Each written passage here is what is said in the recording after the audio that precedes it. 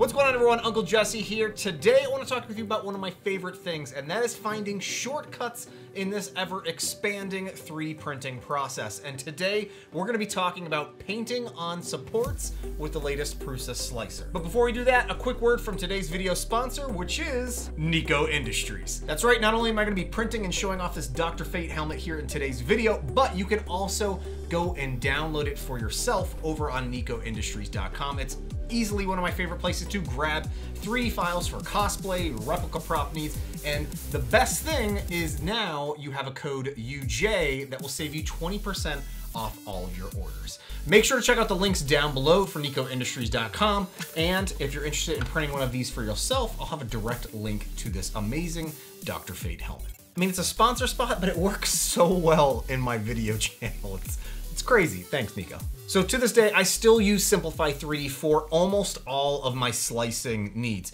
And the primary reason behind that was just because how easy it was to put down supports. However, the biggest challenge when it comes to printing a lot of these replica props and helmets is now I like to just put supports around the perimeter and there's no easy way to do that without manually placing all of the supports or doing auto supports and then mass deleting a whole bunch of different supports. Well, with the new Prusa Slicer update, you can now directly paint on supports wherever you want them to be. That's where your supports will end up. And this not only works for FDM prints, but also all of your SLA prints that you're gonna be running off and using with your resin printer. So this is just a really, really wild update that they're introducing with the alpha release. Not only that, they've also introduced the ability to support, uh, they've got some default profiles in there for Anycubic machines, and the Creality machines are also included with this update. I'll have links down below to Prusa Slicer, uh, where you can find out the latest version of this. It's again in an alpha state. It's not really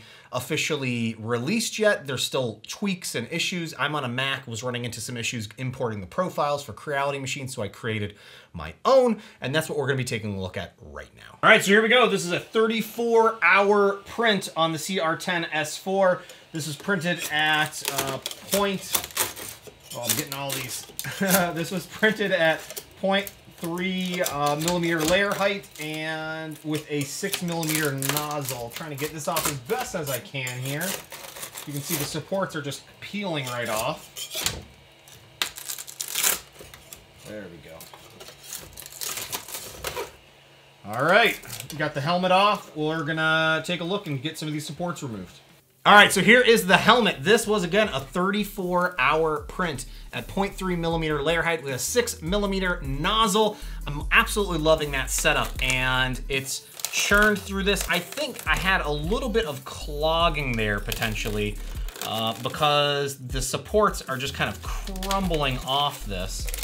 But I think I had to do more with my printer, less with the settings that I've set up here.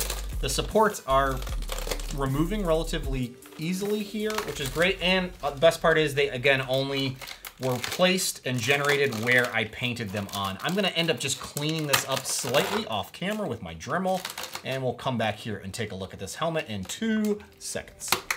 All right, and here it is. The print is now cleaned up. I've got all the supports removed that were around the perimeter.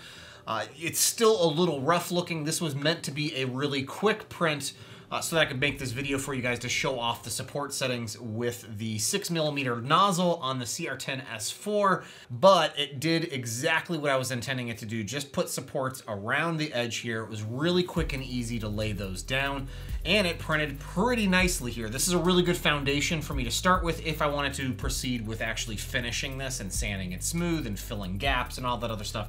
At the moment, though, I might just leave it as is because I am loving this silk gold PLA. I'll have links down below to the actual PLA that I used for this, as well as some other silk gold PLA options if you're interested in that, since it's really just super smooth when it comes to printing and how it actually looks once it's printed. Again, huge thank you to Nikko Industries for sponsoring today's video. I uh, absolutely love this file here, and if you're interested, you'll find links down below. Make sure to use the code UJ to save 20% off your order as well. So if you're interested in checking out the latest with the Prusa Slicer Alpha and its paint on supports, have links where you can check that out for yourself. It's available for Mac, PC, Linux, all the good stuff that's out there. And by the way, I haven't even put this on yet, so let's try it out.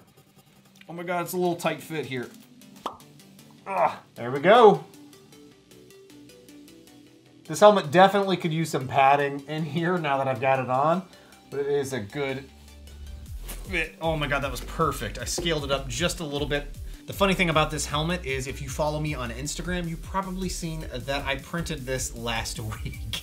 Yeah, I printed two of these, and the first one here was slightly too small, and I could not get it on my head. And the settings that I put in for Prusa Slicer just were not good at all. So I refined those over the course of a handful of days and over the weekend, where we ended up with a much cleaner looking print here, a whole lot less string that I was seeing with original print here. So let me down in the comments what you think about painting on supports and if you think it's as cool as I think it is. I honestly think this is just a big game changer for the way that I can now quickly and easily apply supports to my prints. It's just really streamlines the process for me. Hey, thanks again for watching, and if you haven't already, please consider subscribing. Thanks again, and I'll see you next time. Bye now. I don't know any quotes from Dr. Fate, and I'm wearing an Xbox shirt.